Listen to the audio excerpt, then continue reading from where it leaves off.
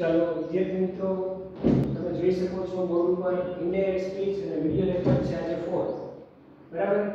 તો અગાઉના જે ત્રણ વિડિયો લેક્ચર હતા, એમાં આપણે જોયું કે કઈ રીતે ઇન્ડાયરેક્ટ સ્પીચ બને છે અને કાળમાં ફેરફાર ન થાય એના બે નિયમો શું છે? આ બધી જ બાબતો આપણે અગાઉના વિડિયો લેક્ચરમાં જોઈ લીધી છે. હવે આજે આપણે એ શીખવાનું છે કે ઇન્ડાયરેક્ટ સ્પીચની અંદર કાળમાં ફેરફાર થાય એના 14 નિયમો શું છે, કેવા છે? અગાઉ જે જોયા કે કાળમાં ફેરફાર ન થાય એના બે નિયમો. હવે અત્યારે જે આપણે શીખવાનું છે એ કાળમાં ફેરફાર થાય તેના 14 નિયમો વિશેની આજે આપણે વાત કરવાની છે. તો એમાંનો તમે પહેલો નિયમ તમારી સ્ક્રીન ઉપર જોઈ શકો છો. બરાબર? રૂલ નંબર 1 પણ એ પહેલા આપણે ધ્યાન રાખવાનું છે આ ખાસ નોંધમાં. તો તમે જુઓ, જ્યારે ખાસ નોંધ બરાબર સમજો જ્યારે આરવી આરવી મતલબ કે રિપોર્ટિંગ વર્ગ બરાબર? આપણે શોર્ટકટમાં લખેલું છે, તમારે શોર્ટકટમાં જ લખવાનું છે તમારી બુકમાં પણ યાદ રાખજો આરવી એટલે રિપોર્ટિંગ વર્ગ થાય બોલનારની બાજુનો જે બીજો શબ્દ છે એને આરવી કહેવાય. સાદા ભૂતકાળમાં હોય રિપોર્ટિંગ વર્ગ સાદા ભૂતકાળમાં હોય એટલે કે આરવી તરીકે said told asked ordered requested વગેરે જેવા ભૂતકાળના શબ્દો હોય તો જ. આ જ બરાબર યાદ રાખજો. તો જ કાળમાં ફેરફાર થાય. બાકી ફેરફાર કરવો નહીં. ચાલો, તો રૂલ નંબર 1 ની આપણે વાત કરીએ. રૂલ નંબર 1 માં શું છે કે જો RS નું સેન્ટેન્સ RS નું વાક્ય RS નું વાક્ય એટલે કે બંને છેડે ઇન્વર્ટેડ કોમા કરેલું જે સેન્ટેન્સ છે, એને RS નું વાક્ય કહેવાય રિપોર્ટેડ સ્પીચ બરાબર? તો રિપોર્ટેડ સ્પીચનું વાક્ય સાદા કાળનું હોય તો સાદા ભૂતકાળમાં થાય.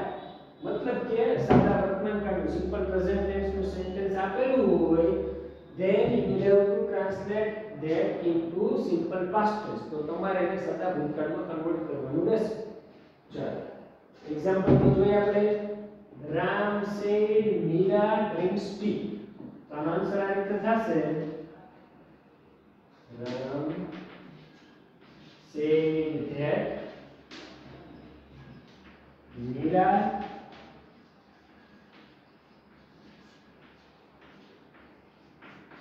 drank tea કેવું છે. ડ્રિંક્સ લખેલું આપણે શું કરી નાખ્યું? ડ્રિંક અને આખી વાતને કે આપણે જોડી દીધી છે? આ ધેટ વડે જોડી દીધી છે. બરાબર? ચાલો. બીજા એક્ઝામ્પલમાં જોઈએ. He said she is answer આ થશે. He said that she was clever બરાબર? તો is નું આપણે શું કરી નાખ્યું છે?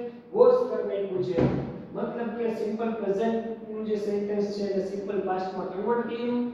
That થી જોડી દીધું અને દરેક પ્રકારના જે કોમાના નિશાન છે એ બધા આપણે આન્સર લખતી વખતે દૂર કરી દીધા છે. બરાબર? ચાલો. તો આ થયો રૂલ નંબર 1 હવે થોડી પ્રેક્ટિસ આપેલી છે.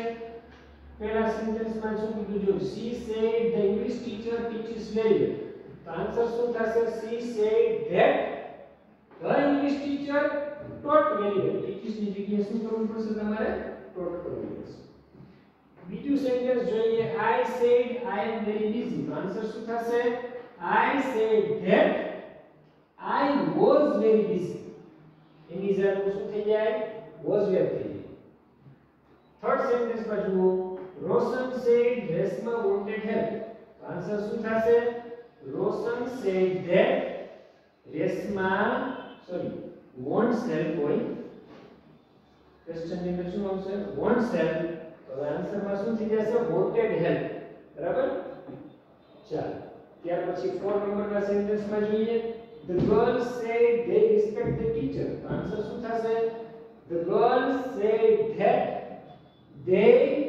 respected respect ની બદલે શું લખવું પડશે respected their teacher બરાબર તો ચાલો આ રીતે સેન્ટેન્સની પ્રેક્ટિસ કરજો આજે જે કઈ વસ્તુ તમે શીખ્યા છો તમારી નોટબુકની અંદર સારી રીતે રાઈટ ડાઉન કરી લેવાની છે.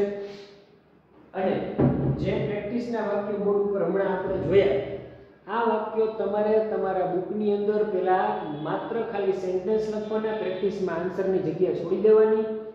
પછી જાતે આન્સર લખવાના અને બીજી વખત વીડિયો લેક્ચર ફોર જોઈ અને જાતે ટેલી કરવાનું કે આપણા આન્સર સાચા છે કે નહીં. બરાબર? આ રીતે પ્રેક્ટિસ કરજો. હવે આપણે વીડિયો લેક્ચર ફાઇવની અંદર મળશું.